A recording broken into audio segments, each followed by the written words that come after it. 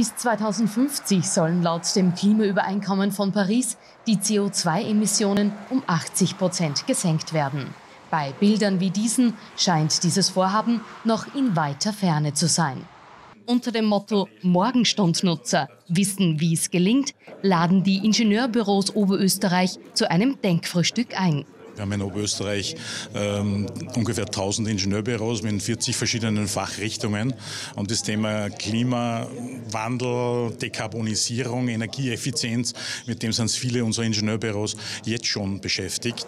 Neue Technologien sind das Gebot der Stunde. Einerseits gibt es im Verkehrsbereich schon viele Maßnahmen. Auf der anderen Seite wird aber Elektromobilität nicht der Weisheit letzter Schluss sein, mit Batterien zu fahren, sondern denken Sie an Lkw. Da wird eine Batterie nicht ausreichen, um die bewegen zu können. Und da geht es dann in Richtung Wasserstoff, da geht es in Richtung äh, E-Fuels, also wo man wirklich äh, CO2-neutrale äh, Treibstoffe macht. Also das Ganze ist ein, sind viele, viele Mosaiksteine, die uns hoffentlich in eine bessere Zukunft führen. Mittels Wasserstoff möchte man die Dekarbonisierung, also die Reduzierung von Kohlenstoff, vorantreiben. Die Herstellung von Wasserstoff erfordert allerdings ebenfalls einen CO2-lastigen Prozess.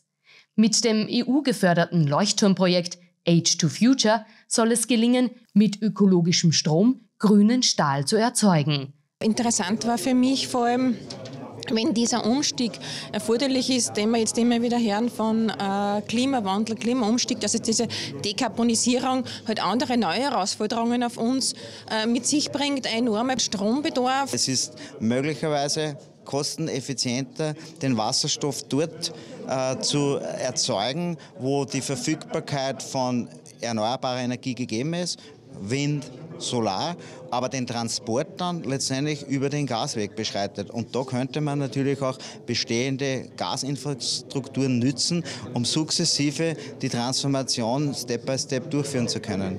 Kommen wir noch einmal zum Pariser Übereinkommen zurück.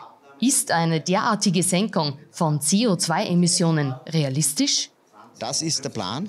Die Frage wird sein, wie man es schafft, wettbewerbsfähig äh, diese Industrie in Europa erhalten zu können. Und da ist natürlich die Politik gefragt, entsprechend auch die Unterstützung und industriepolitisches Verständnis aufzubringen. Aber der Weg wäre eigentlich vorgezeichnet. Der Weg ist also da. Jetzt gilt es, diesen gemeinsam zu ebnen.